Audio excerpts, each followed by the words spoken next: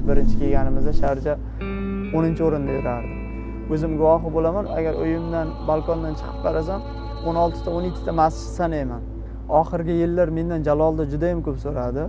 O'zimizda qo'ymaydi misol paxtakor chempion bo'ladida qolganlar ham yilni boshida chempionlikka zadacha qo'yildi deb gapiradi intervyu beradi lekin u ularga bo'layotgan e'tibor chempionlikka zadacha hisoblanmaydi. Birinchi o'rinda iqtisodga ham ko'p narsa bog'liq. Bizni ham shu superligani shu darajaga olib chiqish uchun nima qilish kerak? Buning uchun nima kerak? Iqtisod kerak. Iqtisod kerak. Klublar byudjeti baland bo'lishi kerak. Uni o'zimizda o'zbekistonda ko'tara olmaydi. Bu narsa butun bir o'zbekiston uchun judayam og'ir qiladi. Kuchli bolalar chiqavergandan keyin nima bo'ladi u? Bir birovi bilan tashlashadimi? Bir birovi bilan raqobat kuchayadimi to'g'risini aytsam paxtakordan ko'p narsa kutgandim shaxsan o'zim. O'shanda bizlarni futbolimiz oqsayapti deb o'ylayman. Iroqdan kuchli edik qachon kuchli edik. Butun hayotimni futbolga tikdim. O'zi niyatni o'zi shunaqa deb turgandan keyin chiqib bo'ladi ishonasizmi bu safar chiqishimizga? Ishonmasak futbol o'ynamayman aka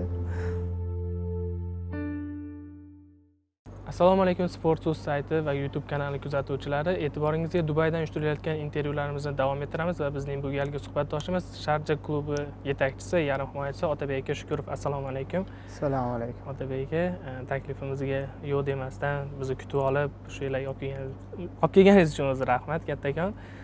E, dastlab endi bu yerga kelgan birinchi legionerlardansiz. Endi hozirgi to'p surayotgan o'sha beshta legionerimiz to'p suryapti bulardan birinchi kelganlardan siz e, sharjadagi boshlang'ich kelgan vaqtingizdagi hayotingiz shular haqida muxlislarga birinchi bo'lib aytib bersangiz.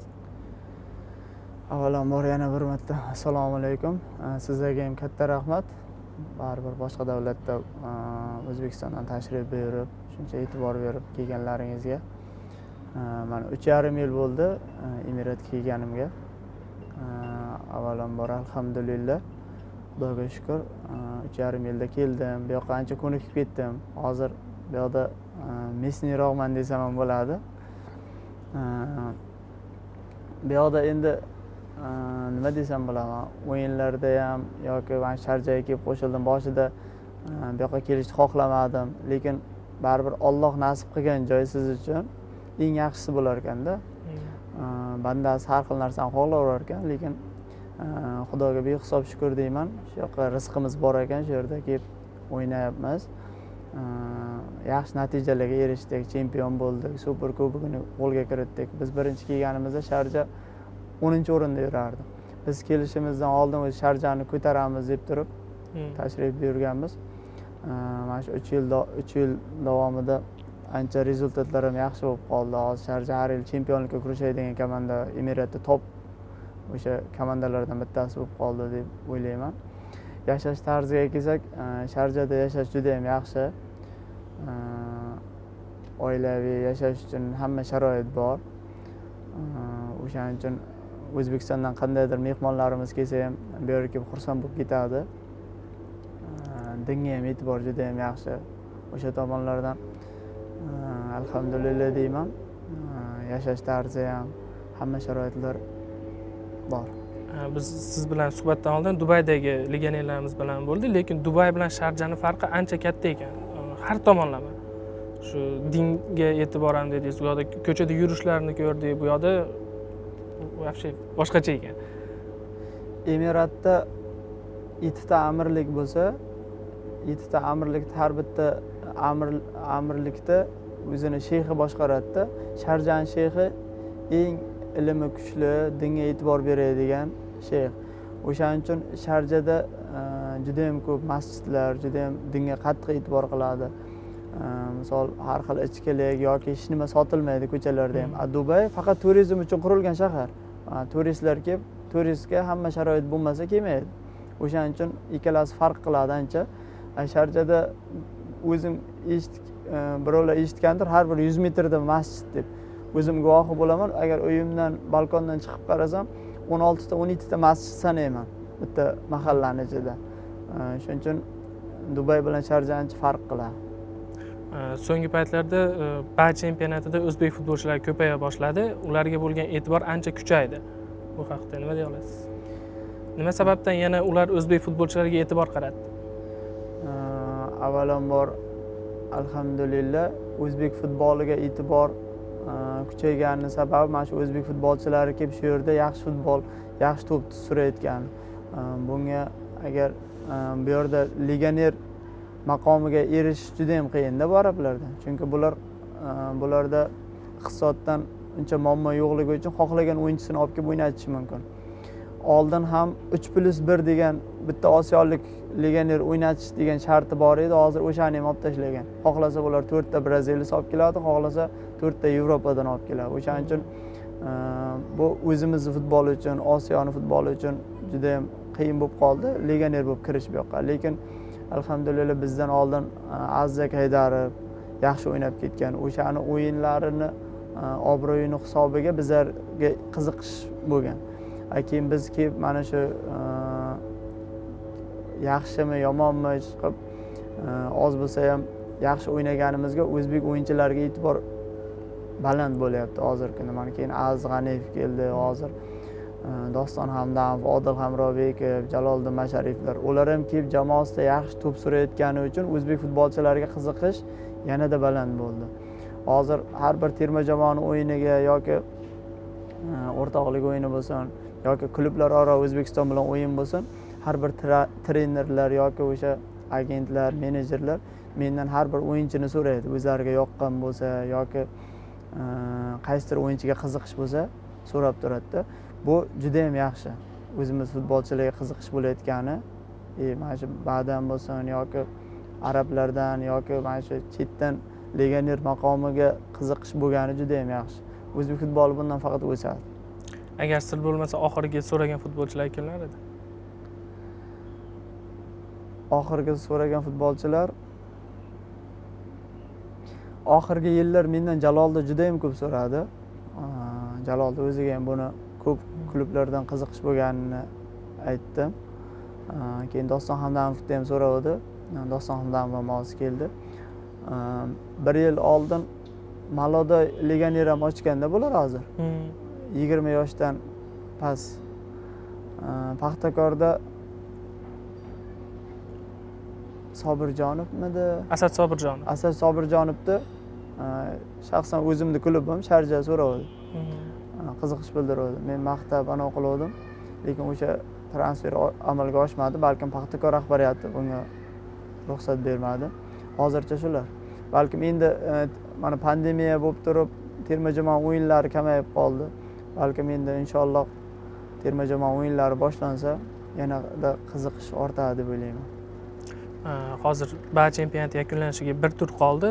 So'nggi tur oldidan e, haligi chempionlik masalasi hal qilingan bo'lsa ham lekin ikkinchi uchinchi o'ringa ya'ni shu osiyo chempionlar ligasiga kurash avjida bu bilan ko'rinib turibdiki ba chempionati bizni superligadan ancha o'sib ketdi.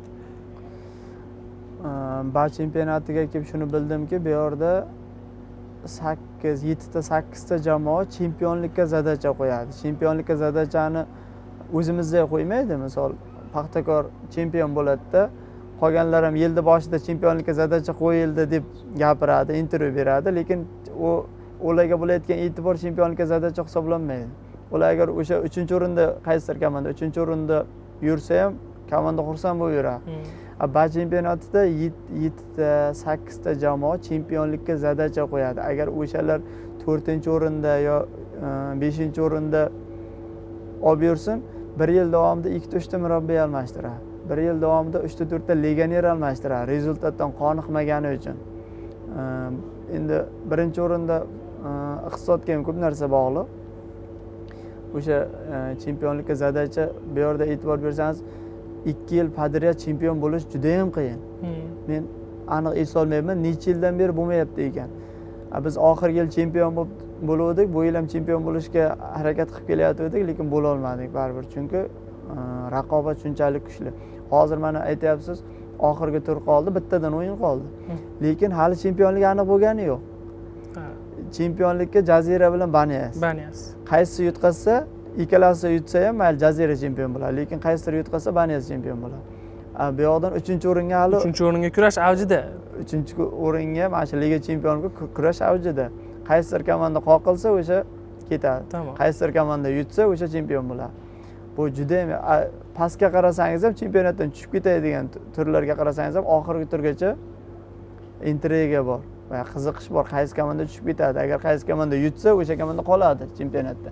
Bu judayam yaxshi bu chunki chempionatda oddiy o'yinni o'zi bo'lmaydi. Har bir o'yin bosim ostida o'sha как e, futbolni e, anonsi bo'ladiku futbolda qiziqishi. O'shani ushlab turadi zavqi o'shani ushlab turadi. Bu judayam yaxshi. Bizni ham shu superligani shu darajaga olib chiqish uchun nima qilish kerak? Legioner kuchli legionerlar chaqirish kerakmi shu super yulduzlar yoki klublarni ko'proq xususiylashtirish kerakmi endi bunda aniq biror nima deyolmayman avvalo. Chunki legioner olib kelish kerak to'g'ri legioner olib kelish kerak. Kuchli legioner olib kelish kerak. Uning uchun nima kerak? Iqtisod kerak. Iqtisod kerak. Klublar byudjeti baland bo'lishi kerak. Uni o'zimizda o'zbekistonda ko'tara olmaydi. Balkim unaqa legionerni olib kelib e, o'ynatsa ham balkim o'zbekiston xalqi ham muxlislar ham unga anavi qilmasligi mumkin. Chunki katta pulni to'lash o'zimizni imkoniyatdan kelib chiqib qiyin bu narsa. E, klublar shaxsiylashtirish kerakmi degan savolga e, balkim o'shanaqa qilish kerakdir. Chunki shaxsiy klublar bo'lsa o'sha e'tibor bitta odamni qo'lida bo'ladi. O'sha odam e'tibor beradi klubga qanaqa zadacha qo'yadi kimni olib kelib o'ynatadi yoki qanaqa rezultat qiladi. Hozir e, ko'p klublar o'sha davlatga qaragani uchun o'rtamayona yursa ham bo'ladi deb yuraveradida. Ular boyagi tushib ketmasa ham bo'ldi chiqib keta olmaydiku boya tepaga. Lekin tushib ketmasa bo'ldi. O'rtada yurdimi? Ularga keyingi o'yinda boya uch ochko olish degan qiziqish kamroq bo'ladi. Agar uch ochko ololmasa ham anaqa qilmaydi. Lekin harakat qilib ko'radi olishga harakat qiladi. Bu chempionatni saviyasini tushishiga sabab bo'ladi deb o'ylayman. Undan tashqari man o'zim shu narsani guvohi bo'lyapman chunki mashal akademiyadan chiqqanman. Nasaf akademiyasini yaxshi bilaman qashqadaryolik bo'lganim uchun. Bunyodkorda keyin bunyodkorga kelib qo'shildim. O'sha bolalar futboliga e'tiborni kuchaytirish kerak. Balkim hozir mana odil aka ahmedov o'zi shkola ochdi o'sha maktab futbol maktabi ochdi. O'shanaqa futbol maktablari ko'paytirish kerak. Bir birov bilan raqobat qiladigan. И hozir e'tibor bersangiz terma jamoada Э, bitta ikkita yo uchta o'yinchi yo'q bo'lib qolsa terma jamoada u o'sha o'yinchi yo'q bo'lib qoldi deydi. O'shanga deydi qiynalamiz deyishi mumkin. Misol muxlislardan tortib yo birov bu narsa butun bir o'zbekiston uchun judayam og'ir qiladi. O'sha agar bolalar sportini o'sha akademiya shkolalarga ko'proq e'tibor qaratilsa u farqi yo'q. Siz o'ynaysizmi? Sizga nimadir bo'lsa boshqasi kelib o'ynaydi. Hmm. sizni o'rningizni to'ldirib beradi. Raqobat shunda kuchli bo'ladi. O'shanda chempionat saviyasi ham o'z o'zidan oshib ketadi. O'sha bolalar sportiga e'tiborni kuchli qilinsa har bir viloyatdan har bir tumandan kuchli bolalar chiqavergandan keyin nima bo'ladi u? Bir birovi bilan tashlashadimi? Bir birovi bilan raqobat kuchayadimi? Keyin nima bo'ladi? Terma jamoa yetadi o'shaning uchun bolalar sporti birinchi o'rinda man o'zimni shaxsan o'ylashim bolalar sportiga e'tiborni juda yam kuchli qilish kerak. Hozir o'sha mashalga bo'lgan e'tibor bizlar davrimizda hozir bitta gap yana hayolimga keldi. Qaysi superligadagi shu o'zimiz oliy ligadagi klublarga e'tibor bersangiz hozir mashal akademiyadan chiqqan bolalar o'ynayapti. Ayniqsa darvozabonlar. Ko'pchiligi qaysi klubdan aytsangiz ham mashaldan o'ynayotgan bola bor bu nimani hisobiga bizlar davrimizda mashal akademiya e, вообще e'tibor judayam baland bo'lardi agar siz mashal akademiyada bir kun yaxshi trenirovka qilmasangiz bir kun yoki o'shani e, tartib intizomiga buzib qo'ysangiz sizga ikki marta yo uch marta ana ogohlantirish beradi. Bo'lmasam haydayverardi shunchalik akademiyada e'tiborni balandligidan bu endi tasavvur qilib ko'ring hozirgi kunda oliy ligada mana shunaqa e'tibor yo'q. Super ligada o'sha raqobat bo'lmagandan keyin bu judayam qiyinda bu narsani saviyasini superligani yoki futbolni oshirish o'sha raqobatni kuchaytirish uchun akademiyaga ko'proq e'tibor qaratish kerak. Bolalar futbol deysiz. Odil ahmedov hozir namanganda maktab ochgan. Odil junior sizda ham shunday rejalar bormi? Vohada ochish. Albatta reja bor. Bu reja bo'yicha hali amalda bo'lmadiyu lekin reja tuzilib kelyapti. Inshaalloh o'zimizni shu qashqadaryodan ochamiz. Ochsak ham hozir birdaniga ochsa bo'ladi lekin ochganda ham o'sha sharoitlarni hammasini yaxshi qilib o'sha e, mana shu toshkentni klublari bilan mana shu terma jamoaga bola yetkazib beradigan qilib ochish kerak. O'sha e, bo'yicha aniq har borganimda reja tuzib kelyapman o'zim ham shaxsan o'zim. Yoki e, o'zimda tanish birga o'qigan o'rtoqlarim akalarim bor. Ular futbolchi bo'lolmadiyu o'ynolmadi o'shalarni murabbiy bo'lib e, ishlashiga yordam beryapman. Chunki ertaga kelajakda ular menga ham yordam beradi. O'sha shkolalarni o'shalar bilan birgalikda qurib ochish niyatim bor inshaalloh. Ha endi yana futbolga qaytamiz. Katta futbolga yaqinda osiyo chempionlar ligasi guruh bosqichi bo'lib o'tdi. E, Sharja paxtakor bilan bir guruhda edi. Sharja keyingi bosqichga yo'l oldi. Biz kutgan paxtakor esa qolib ketdi. To'g'risini aytsam paxtakordan ko'p narsa kutgandim shaxsan o'zim. Chunki o'zbekistondagi bunday olib qarasam nomer один komanda birinchi raqamli komandamiz guruhdan qolib ketdi. O'shaning uchun o'tgan yili paxtakorga e'tibor bergan bo'lsangiz rezultat tomonidan natija tomonidan ancha yaxshi rezultat ko'rsatgandi. O'shaning uchun bu yil juda yam ko'p narsa kutgandim shaxsan o'zim. Chunki ham o'tgan yili ham uch yildan beri chempion bo'lyapti.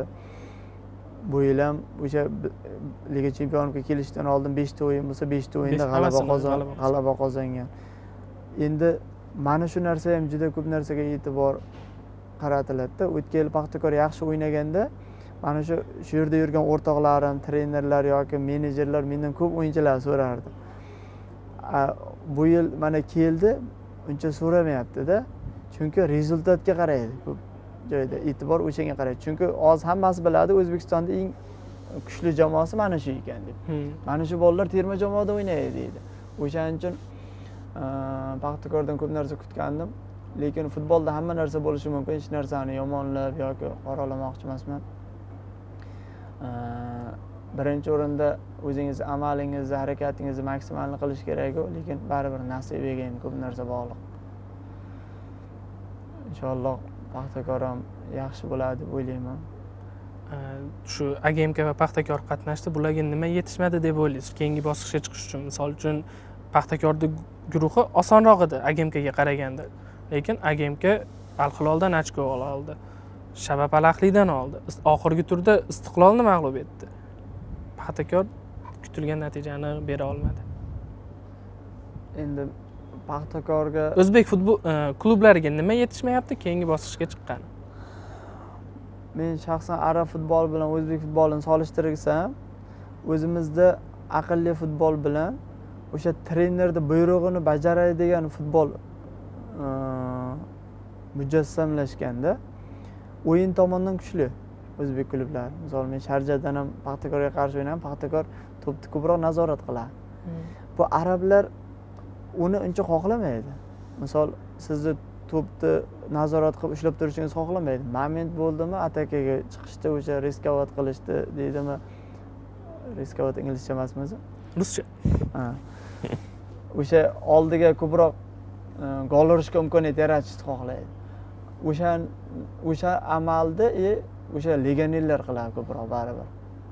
Bu yerda arab futbolchilarini o'sha men olmaliq juda yam yaxshi o'yin ko'rsatdi. O'zini darajasida teparoqda bir bosh baland o'ynadi. Bir bosh baland o'ynadi. A paxtakor o'zini darajasidan bir bosh past o'ynadi. Lekin ikkita jamoaga ham o'sha o'yin taqdirini hal qiladigan o'yinchilar yetishmadi. Legionerlar. Legionerlar yoki o'sha mahalliy o'yin taqdirini yoki bitta zarba bilan gol uradigan o'yinchilar yetishmadi. O'shanda bizlarni futbolimiz oqsayapti deb o'ylayman. Klublarimizda ham terma jamoada ham ko'p kuzatilishi mumkin. Terma jamoaga o'zingiz boshladingiz. Yaqinda oxirgi o'yinda iroq gana bni mag'lub etdik keyin iroqqa qarshi o'yin o'tkazdik. Terma jamoada ham shu narsa yetishmaydida. Nimagadir shu oxirgi pallada kalla qo'yiladi. Kalla qo'yiladi deb misol uchun iroqni yutsa bo'lardi. O'rtoqlik o'yin deb qarash mumkin. Baribir iroqdan biz kuchli edik. Iroqdan kuchli edik. Qachon kuchli edik? Endi bunday qarash kerakda avvalo baribir birinchi o'rinda o'rtoqlik o'yini edi. Lekin hech nimani bahona qilib bo'lmaydi. O'zimiz muxlislar oldida o'ynadik. Iroq bizni kutib turgandi. Biz gana futboli bilan osiyo futboli bilan afrikan futboli judayam balandda gana jahon darajasidagi terma jamoa. Biz o'zbekiston osiyo darajasidagi terma jamoa. Biz hamma vnimaniyani hamma e'tiborni ganaga judayam qattiq qaratdikda to'g'ri ganani balkim birinchi sostav emasdir. Lekin u sizga farqi yo'q birinchi sostav keladimi ikkinchi sostav keladimi uchinchi sostav keladimi uni gana nomi bor. Nomiga har bir futbolchi ham murabbiylar o'shanga e'tiborni judayam qattiq bo'ldida. Ham o'sha e, namanganda bo'ldi muxlislar qarshida yutuq baribir judayam bu mm, katta motivatsiya bo'lardida. И uch kundan keyin toshkentda iroq bilan o'yin. Baribir ganani yutganingizdan keyin iroqqa ikkinchi daraja bo'lib qoladida. Bu ofitsialniy o'yin bo'lmasa albatta. E, o'shaning uchun iroq to'g'ri bizni yutdi lekin o'yinni biz kontrol qildik. Iroq bizdan ko'p moment yaratdi. Nima uchun? Ular faqat himoyaga yotdi. Golni o'rnida o'zi qarshi hujumda qarshi hujumda faqat qarshi hujumda sinab ko'rdi. Bizga nima kerak? Bizga o'zimiz o'yinni shakllantirish ko'proq kerak. O'sha ofitsialniy o'yinga tayyorgarlik jarayoni ko'proq kerak. O'ylaymanki bundan katta fojia qilish kerak emas. O'sha tayyorgarlik jarayonini maksimalni oshirib boraverish kerak to'g'ri muxlislar bundan baribir xafa bo'ladi. Futbolda xafa bo'lish ham o'sha g'alaba qozonib xursandchilik ham yonma yon buni hech qachon anaqa qilolmaysiz oldinda bizni uchta rasmiy o'yin kutib turibdi. Agar bularni har uchalasida ham g'alaba qozonsak biz keyingi bosqichga yo'l olamiz. Terma jamoa. Inshaalloh. Bu o'yinlarda bu o'yinlar haqida fikringiz? Shu saudiyada bo'ladigan saudiyada issiqda bo'ladi iyunda. Shu boshqa joy o'zbekistonda bo'lishi ham mumkin edi hozir birinchi o'rinda pandemiya paytida balkim o'zbekistonda unchalik mana man o'zim mana shu pandemiyada chet elda bo'lganim uchun judayam katta bilinadi. O'shaning uchun birlashgan e, birlashtirib qilyapti mahalliylashtirib ham mahalliylashtirib bu hozir ofkni qarori nima bo'lishidan qat'iy nazar. Saudiyada bo'lishidan to'g'ri issiq deyapsiz. Lekin man o'zim arab futbolini bilganim uchun E, ko'plar hozir issiqda qiyin bo'ladi deb o'ylayapti. Lekin biz arablardan ko'ra chidamliroqmiz. Arablardan ko'ra mehnatkashroqmiz o'zi tabiatdan ham o'zbek xalqi shunaqaroq. O'shaning uchun bizaga bu narsa zararimizga ishlamay qaytadan foydasi foydamizga ishlashi mumkin. Hamma narsani yaxshi tomonini qarash kerakku. O'shaning uchun e, oldinda uchta judayam muhim uchrashuv kutib turibdi. Hali o'zbekiston bu bosqichdan chiqolmaydigan daraja bo'lib qolmagan. Inshaalloh muxlislar ham butun o'zbek xalqi buni kutib turibdi. Faqat ulardan iltimos qilardim o'sha duo qilib bizni qo'llab turishsin. Inshaalloh albatta mana shu uchta o'yinda g'alaba qozonib muxlislar oldida yuzimiz yorug' bo'lib biz faqat bu uchta o'yinda emas biz jahon chempionatiga chiqishni o'ylashimiz kerak. Shuning uchun ishonasizmi bu safar chiqishimizga? Ishonmasak futbol o'ynamayman aka. Rahmat yaqindagina xabar chiqdi. Odil ahmedov jarohat olib o'zbekistonga qaytdi. Oldindagi shu uchta o'yinda katta ehtimol bilan bizga yordam bera olmaydi. Ahmedovni pozitsiyasida e, muxlislar ham mutaxassislar ham murabbiy ham otabek shukurovni ko'radi. Bu sizga mas'uliyat yuklaydimi? Avvalambor odil akaga e, jarohat olgani qanchalik qanday jarohat olganini bilmayman lekin ollohdan shifo berishini so'rayman. Odil akani terma jamoada o'rni baland. Agar odil aka bo'lsa baribir yaxshi terma jamoaga har bitta o'yinchi terma jamoada muhim. Lekin futbolda o'sha travmalar siz bilan yonma yon yuradi hozir siz shunaqa deyapsiz hali o'sha saudiyadagi o'yingacha qancha vaqt bor? Bir oy. Bir oy.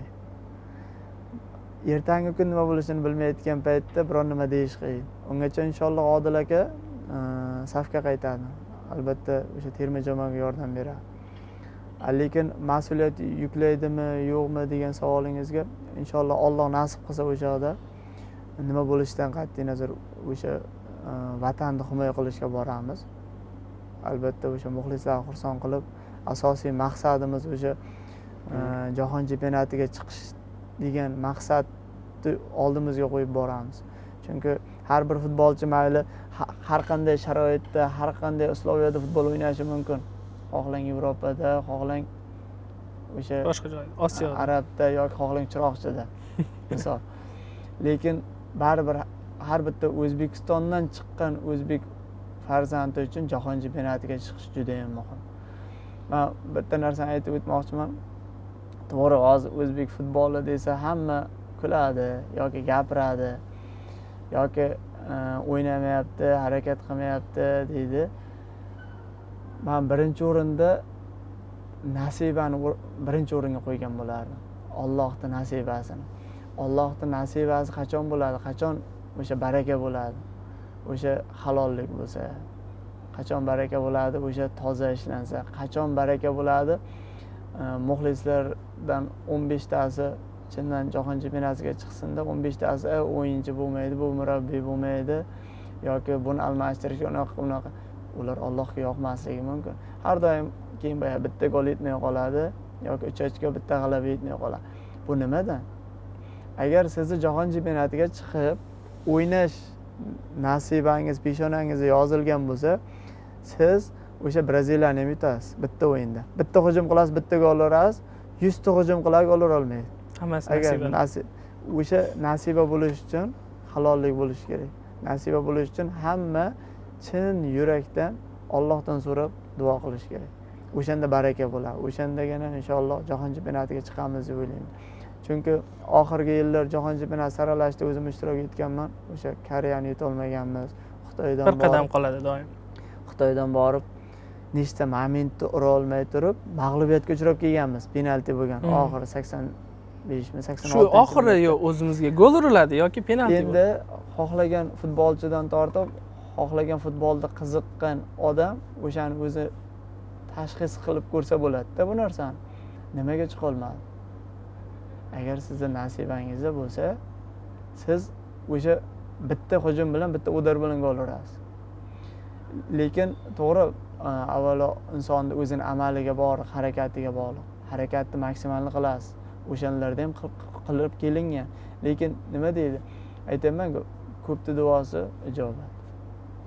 O'sha odamlarni o'zi fu- futbolchilar ikki karra xohlaydi. Ikki karra emas bizaga misol shaxsan o'zim borbidim tikardim. Butun hayotimni futbolga tikdim. Misol. Hmm. boshqa narsa qilmadikku hali to'g'ri yoshmiz. Hayotimiz faqat futbol bilan bo'ldi.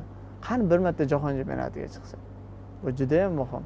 O'shaning uchun o'sha halollik bo'lsa har bitta odam chindan xohlasa bitta men emas. Buni butun o'zbek futboliga qiziqadigan muxlislardan tortib hammasi chunki muxlislarimiz ham o'sha qiziqchilar gapiga ishonadi yoki ko'chadagi gaplarga ishonadida nima qiladi keyin? E baribir chiqolmaydi. Deydi o'zi niyatni o'zi shunaqa deb turgandan keyin chiqib bo'ladimi demak jahon chempionati chiqishni butun xalq xohlashi kerak. Albatta. Chunki bu xalqni jamoasi. Chunki buni butun xalqni o'zi xohlaydi chiqishini. O'shaning uchun chin yurakdan chin amal bilan xohlash kerak. Siz o'n olti yoshli bolalar o'rtasidagi osiyo chempionat chempionisiz. O'sha payt o'sha paytda ham jamoa sardori bo'lgansiz. Aytingchi eronda bo'lib o'tgan musobaqadagi g'alaba faoliyatingizga burilish yasagan albatta judayam katta bir ulush yasagan. Chunki bizlar endi o'sha o'smir e, o'smir vaqtimiz bo'lgan. O'sha jarayonda osiyo chempioni bo'lishingiz terma jamoaga tushishingiz judayam muhim bo'lgan. Bizlar o'shanda mashal akademiyada o'qib yurardik. O'sha paxtakor bilan bunyodkor bolalar bilan raqobat qilish keyinchalik butun o'zbekiston viloyatdagi futbolchi o'zingiz yoshingizdagi futbolchilar bilan raqobat qilishu и o'shanda kapitan bo'lib turib osiyo chempioni bo'lishingiz и osiyoda o'sha yoshda siz chempion bo'lishingiz judayam katta bir burilish yasagan. Bu sizga katta motivatsiya beradi sizga bu katta ishonch beradi. Buni sizga katta yo'l deb qabul qilish kerakda hozir agar bironta muxlisdan so'rasangiz nima deydi? Chempion bo'ldi shu bilan yo'ldiz yulduzlik kasal degan narsa yo'q. Odam o'zi odam bu qanaqa yulduz bo'lishi mumkin? Hamma hammamiz olloh yaratgan bandamiz. Yulduzli kasali bo'lmaydi. Faqat o'shanday yutuqlarni oldinga e, tashlangan qadam deb qabul qilish kerak. E, so'nggi savol e, bizda soya ko'rsatuvimiz bor. Sportuz saytida bunda bir oybek aka ismli birinchi mehmonimiz bo'lgandi u uni ko'rib siz bizga aytishdiki undan keyin oybek akaga aloqaga ham chiqqansiz.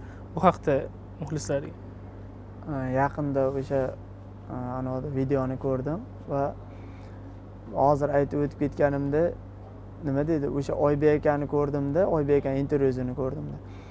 O'zbekistonda shunaqa muxlis borligiga ishonmasdim. Oybek akani ko'rib undagi samimiy his tuyg'uni chunki odam ko'rmasligi bu e, ollohni bitta ne'mat e, ne'matida bu ko'rishlik ham. Tasavvur qiling siz bilan men ko'rmasligimiz mumkin. Bu judayam katta bir endi nima bo'lishidan qat'iy nazar olloh shunaqa yaratgan alhamdulillah deyish kerakda и oybek akaga o'xshab turib qanaqa muxlislik qilyapti? Ana shunaqa muxlislar agar ko'paysa biz jahon chempionatiga aniq chiqamiz. Bizdan so'ragan aytgandiki e, otabek shukurov men bilan ko'rishmoqchi deb xursand bo'lib aytdi. To'g'risi biz ham xursand bo'ldik bu loyihani boshlaganimizga o'sha oybek akani chaqirganimizga. O'shandan keyin oybek akani o'zini nomerini topib aloqaga chiqdim internet orqali telegram orqali. Gaplashib hozirgacha gaplashib hol ahvol so'rab turibmiz. O'zbekistonga borganimda albatta u kishi bilan uchrashmoqchiman ko'rishmoqchiman. E, nima anavi bo'lsa o'sha kishini qo'llamoqchiman shaxsan o'zim. Chunki unaqa insonlarni e, qanaqa hurmat qilsangiz ham kam. Faqat futboldan emas insoniylik jihatdan e, allohni o'sha bitta ne'mati kam bo'lishiga qaramay qanaqa shukur qilib qanaqa e, hayotda lazzatlanib yashayotganini ko'rish ham judayam bir odamga bir katta baxt. O'sha oybek akani ham futbolni ko'rmasdan turib unaqa muxlislik qilish shaxsan futbolchi ham unaqa muxlislik qilolmaydida ancha muncha mutaxassislardan ham yaxshi. Xuddi o'shanaqa. O'shani agar videosini kim ko'rmoqchi bo'lsa bir ko'rib ko'rsa muxlislar ham yoki qiziqqan odamlar undagi ko'rganda ham faqat ko'rib o'tib ketish emas undagi har bir gapirilayotgan gapni o'sha insonni ichidagi bo'layotgan tuyg'u bilan qaralsa judayam ta'sirchan chiqadi bu narsa o'shaning uchun oybek aka bilan shaxsan o'zim tanishdim. O'zi bitta tumandan ekanmiz lekin bir birimizni tanimas ekanmiz. Inshaalloh o'zbekistonga borganda albatta ko'rishmoqchiman u kishi bilan suhbat qilmoqchiman.